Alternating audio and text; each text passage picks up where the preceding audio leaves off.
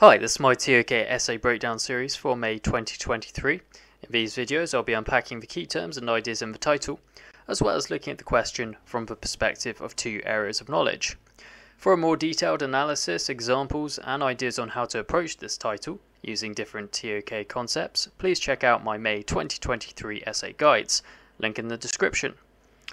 Right, so in this video, we'll be looking at Title 5, which is are visual representations always helpful in the communication of knowledge? Discuss with reference to the human sciences and mathematics. Let's start with our key terms. So, some possible key terms and definitions include firstly, visual representations, which here I've put as the depiction of information through a certain visual style or format. Uh, because, of course, visual representations do come in many forms from documentary videos to different types of graphs and charts. Second term I've chosen is helpful, which I've defined as implying that something is either useful for or complementary to a particular process. And finally, I decided to define the communication of knowledge, which here I have written as the transmission of an insight or skill to an individual which allows them to absorb and understand this information. Some points to consider when answering this question.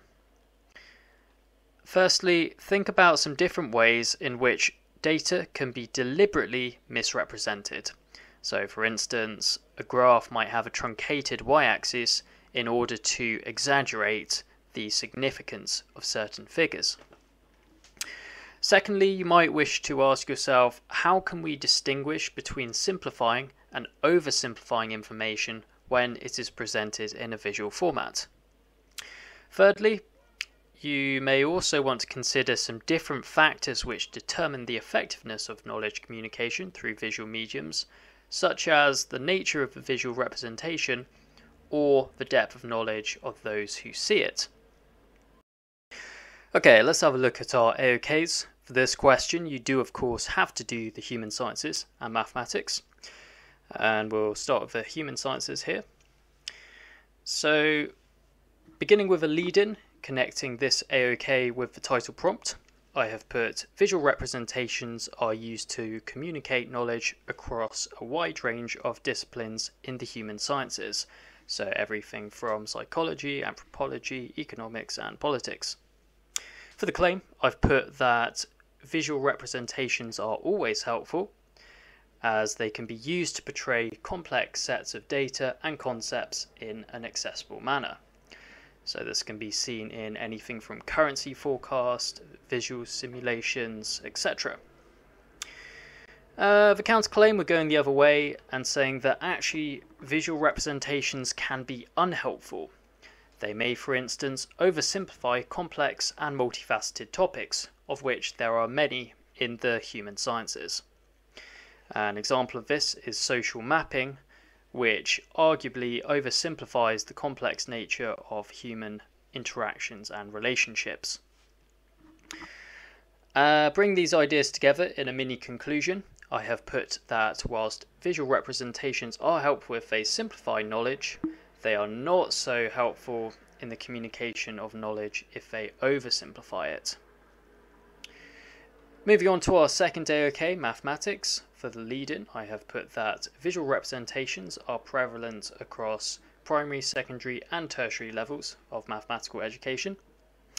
For the claim, I've put that visual representations are helpful in the communication of mathematical knowledge, uh, specifically in an educational context, as when used effectively, Visualization can help students see relationships and patterns that may be difficult to discern using other methods.